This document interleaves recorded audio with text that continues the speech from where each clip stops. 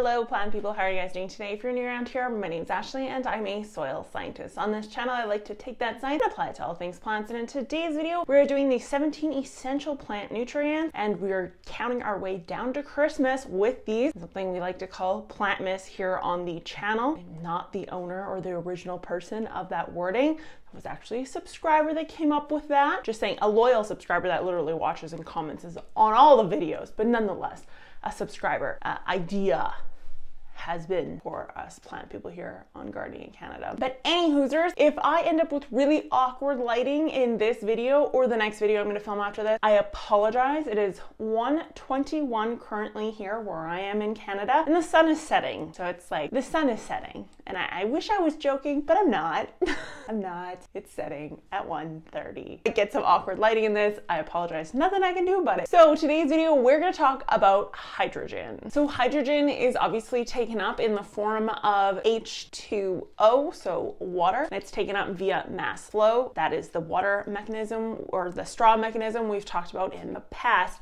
And its sole purpose is for respiration, obviously. It's one of the byproducts of respiration, but also for proton um, exchange and effectiveness in the plant. So think of it as kind of like a a ladder. So the hydrogen ions within the plant and the soil act as a ladder for nutrients to move from the soil to the root, to the stem, to the leaves, to the flowers. And that's basically what hydrogen or the role hydrogen plays, but it should not be understated because it is, I mean, it is a primary macronutrient, meaning it is up there with carbon, nitrogen, phosphorus, phosphorus, potassium, that sort of thing. So it is up there in the upper echelons. It's needed in relatively high quantities for that plant to survive, and it is used on a moment to moment basis non-stop. So when you think about it that way, the fact that hydrogen and oxygen are um, macronutrient, I would implore you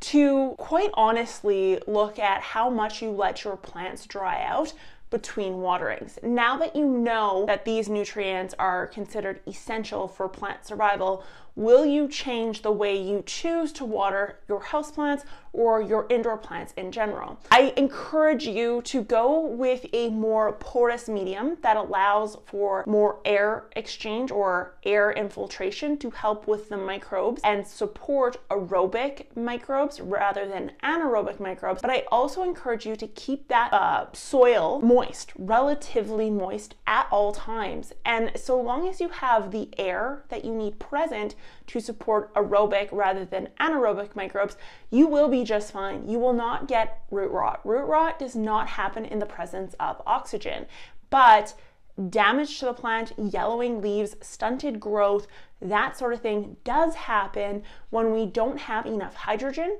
and we don't have enough oxygen, we don't have enough essential nutrients, and for all intents and purposes, a huge portion of that nutrient is taken up in a soil solution, meaning a slurry of some sort that needs the presence of two hydrogens and an oxygen, something we like to call water, H2O, to be present. So you are starving your plant when these things are not around. So just keep that in mind. How long could you go without food and water? You know, water, I, I don't, I think it's like two or three days, not even that you could survive. That's if you're like sitting still and doing nothing. Food, you can go a little bit longer, but water, you, you really do need that. And plant, you know, work on the same spectrum.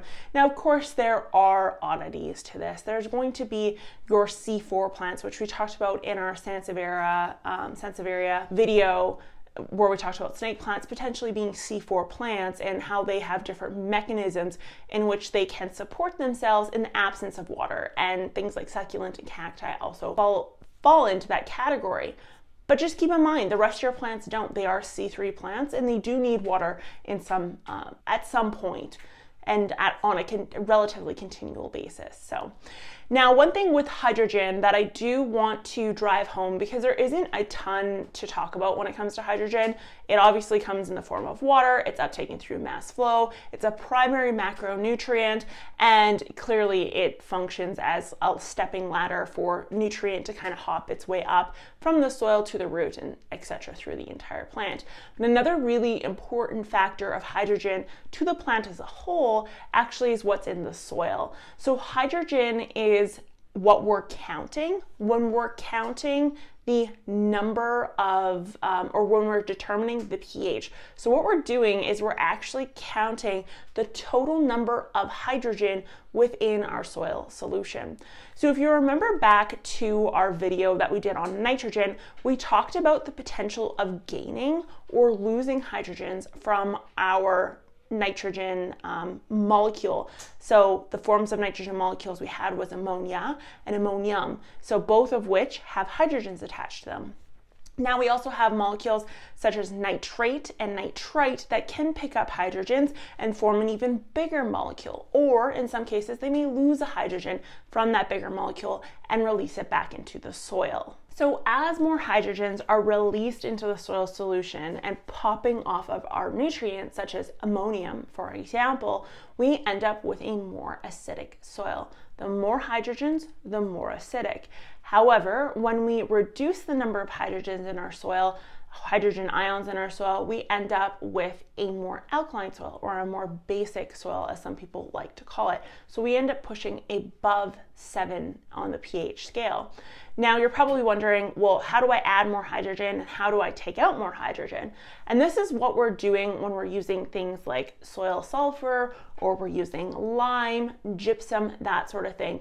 So if we're trying to make a more alkaline soil or we're trying to reduce the number of hydrogens in our soil, we add in components that will bind to hydrogen. So we're not simply just plucking the hydrogen out and vaporizing them into the air, rather we're binding them to another molecule so that the plant can uptake them and they're not left in suspension of that soil solution in the soil smoothie, as we like to call it.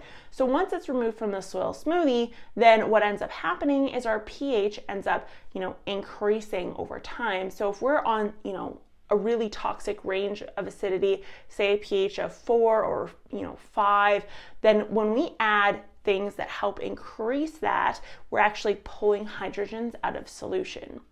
Conversely, if we have a very alkaline scenario, say we're have a pH of 8 or 9 and we're trying to bring it back down, we need to add hydrogens to the soil solution. So this, um, for hydroponic growers, comes in the form of a little bottle and the little bottle you put drops in and all that's doing is it simply adding, adding hydrogen molecules to the solution or again, removing them. But for us plant people to change that pH, again, we have to have additions. Now keep in mind there's a wide range of different plants out there, all of which kind of have a different preference for how many hydrogens they want in their smoothie. So think of it as you and your friend go to Booster Juice, someone wants the or sunrise whatever and the other person wants mango pineapple for example. So those are scenarios where you each have a different preference in what you need to thrive and survive in. So always make sure you look up what your particular plant enjoys most and then adjust according to that. But that is all i have for hydrogen today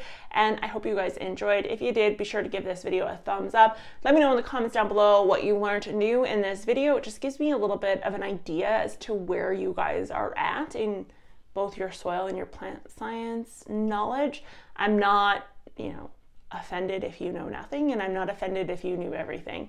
Quite honestly, it's just to give me a bit of a feel to gauge what type of videos you guys want in the future.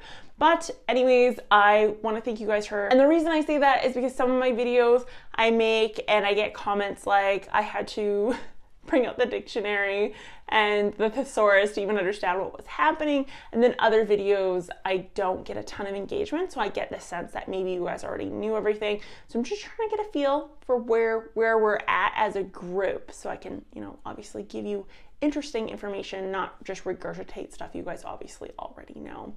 Uh, like I said, I will talk to you guys next time. Bye.